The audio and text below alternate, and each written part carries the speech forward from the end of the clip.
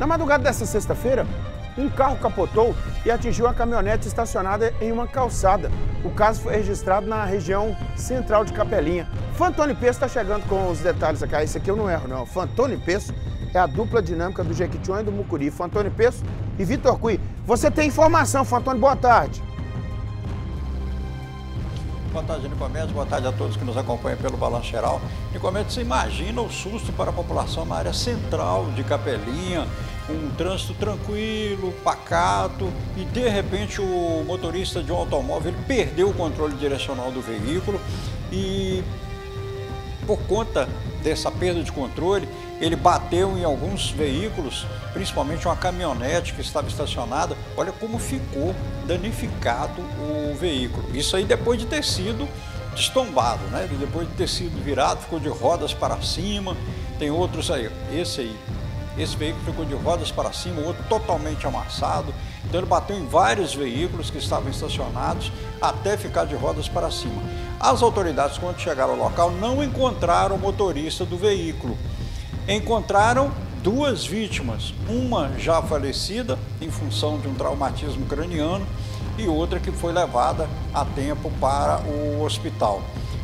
Nicomedes, as pessoas precisam, a, a, a, Polícia Militar e também o Corpo de Bombeiros não informaram as causas desse acidente. Vai ser objeto de uma investigação mas perdeu um controle direcional no centro de Capelinha, a ponto de bater em pelo menos dois veículos e virar de rodas para cima, alguma coisa precisa ser explicada a respeito desse acidente, né, Comedes? E você vai olhar a questão de velocidade, né, Fantoni? Sistema de frenagem do veículo, é, estado é, do, do condutor, né? Estado aqui envolve uma série de coisas, né? Inclusive a medição do índice de alcoolemia no sangue, né? É, porque é a perícia que vai apontar o que tem. Agora é um perigo, né, Fantônio? Normalmente as pessoas é, têm o hábito de ficar sentado nas calçadas, especialmente nas cidades é, menores, né? As pessoas ficam ali batendo papo, conversando, trocando ideia, batendo um violão, jogando um carteado, né? assistindo a televisão. É isso? Ah, tá. Deus. É, Fantônio? É, Fantônio, pode ser. A gente poderia estar falando de uma grande tragédia aqui, né? É, Nicomedes, e o que chama a atenção é que o motorista não ficou no local do acidente e nós ainda não temos informações se ele se apresentou. A, a questão de sair do local, em algumas circunstâncias, é permitida. Por quê? Essa saída é permitida desde que a pessoa se afaste e informe as autoridades o que aconteceu, prometa se apresentar. Então, essas, essas circunstâncias, é, é, elas são possíveis. Mas o motorista, nós vamos continuar acompanhando esse caso, porque nós já tivemos acidente com vítima fatal, e agora na cidade de Capelinha. E olha que nós estamos na primeira semana do ano, Nicomedes.